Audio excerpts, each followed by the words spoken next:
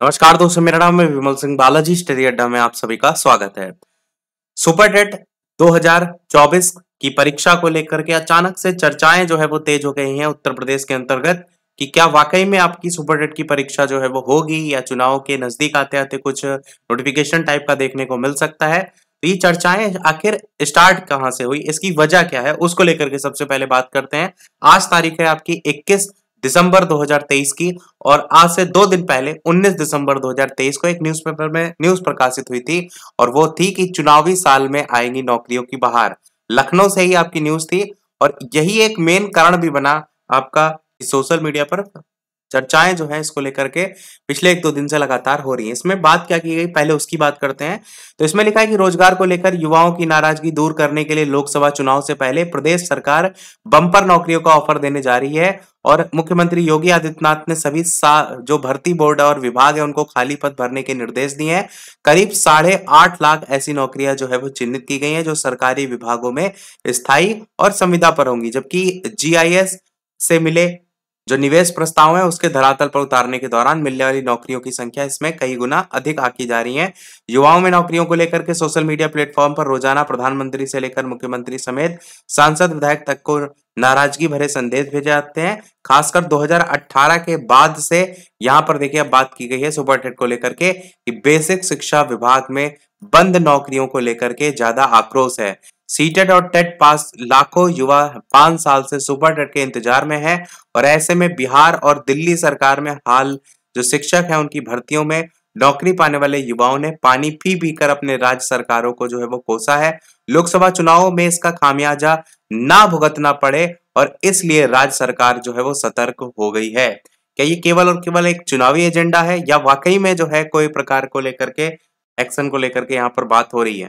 तो मुख्यमंत्री के निर्देश पर नियुक्ति एवं कार्मिक विभाग के माध्यम से सभी जो विभाग हैं, उनमें खाली पद जारी नियुक्ति प्रक्रिया और ज़रूरी मानव संसाधन की विस्तृत रिपोर्ट मुख्यमंत्री कार्यालय को उपलब्ध कराई जा रही है और हाल ही में गठित उत्तर प्रदेश शिक्षा सेवा चयन आयोग में समाहित किए गए जो बेसिक शिक्षा है, माध्यमिक शिक्षा है, उच्च शिक्षा है और अल्पसंख्यक शिक्षा, इसके शैक्षिक और गैर शैक्षिक सभी पदों की भर्ती नियमावली बनने के बाद अब साढ़े सात लाख युवाओं को नौकरी देने की तैयारी है। तो ये इसके अंतर्गत बात किया गया है। और बेसिक शिक्षा विभाग ने सहायक अध्यापक के इक्यावन पद खंड शिक्षा अधिकारी के चौतीस पद, कनिष्ठ सहायक के आठ सौ पचहत्तर, परिचारक के तीन हज़ार नौ सौ उन्नीस, खाली पदों की भर्ती जो है वो भी जल्द शुरू करने को लेकर बात की जा रही है।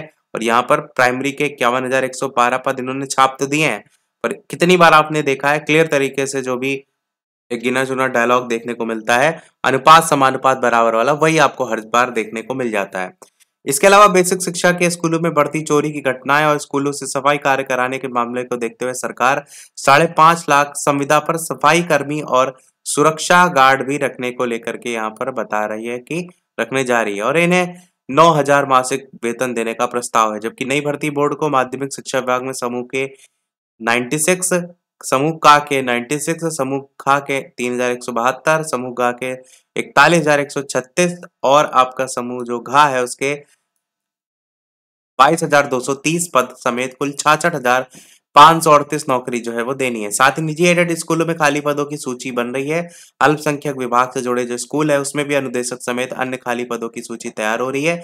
और इसी तरीके से उच्च शिक्षा विभाग से जो जुड़े विश्वविद्यालय हैं, डिग्री कॉलेज है, मेडिकल कॉलेज है, तकनीकी कॉलेज है, व्यवसाय संबंध कॉलेज आते हैं, इनमें भी खाली पदों का विवरण मुख्यमंत्री कार्यालय से मांगा गया है। सरकार जल्दी आयोग के अध्यक्ष समेत जो सदस्य हैं, उनकी नियुक्ति करके भर्ती प्रक्रिया शुरू करने की लेकर के तैयारी कर रही है। साथ ही इसमें बाल विकास और पुष्टाहार विभाग में तिरपन हज़ार पदों को लेकर के बात की गई है। पुलिस विभाग में जो बासठ हज़ार पद की बात की गई है, पांसठ हज़ार चार सौ चौबीस पद, ये तो बात बिल्कुल सत्य है, क्योंकि इसको लेकर के लगातार तीन चार दिन आपने देखा भी। अपडेट देखने को मिली थी और पीएससी में दस हज़ार पाँच सौ चौरासी पद होमगार्ड के तीस हज़ार पद उत्तर प्रदेश अधीनस्थ सेवा चयन आयोग से भी छह हज़ार पद समेत सरकारी अस्पतालों में डॉक्टरों के छह हज़ार पद जो है वो भरे जाएँगे। रोडवेज़ बसों में संविदा परिचालक के पाँच हज़ार पद खाली हैं, जबकि वन विभाग में चार हज़ार एक सौ तीस पदों की भर्ती जो है वो प्रस्तावित है। बाकी ऊपर यही सब लिखा है, निवेश प्रस्तावों से एक करोड़ नौकरियों की उम्मीद, समीक्षा करके ज़रूरी जो रिक्तियाँ उनकी तय हो रही है समय स्थिति और यहाँ पर सभी संविदा और वही सारी चीज़ों को लेकर के बात जो है वो की गई है तो आपको क्या लगता है इसमें थोड़ी भी आपको सच्चाई देखने को मिल रही है या जैसे-जैसे चुनाव नज़दीक आते हैं इस प्रकार की जो न्यूज़ है वो आपको हर साल, हर बार पेपर में देखने को जो है वो मिल जाती हैं? और ऐसा नहीं है कि उत्तर प्रदेश सरकार को पता नहीं है कि बिहार सरकार सब नौकरी उत्तर प्रदेश के अभ्यर्थियों को दे रही है। सारी चीज़ें सब पता रहता है गवर्नमेंट को भी। उसके बावजूद भी किसी प्रकार का कोई कदम नहीं उठाया जा रहा है। क्या है सारी चीज़ें आप यहाँ पर खुद ही देख रहे हैं। बाकी यही था हमारे सोरल अपडेट में। वीडियो लाइक, शेयर, सब्सक्राइब अवश्य कीजिएगा। मिलते हैं अगले अपडेट में, तब तक के लिए नमस्कार, जय हिंद।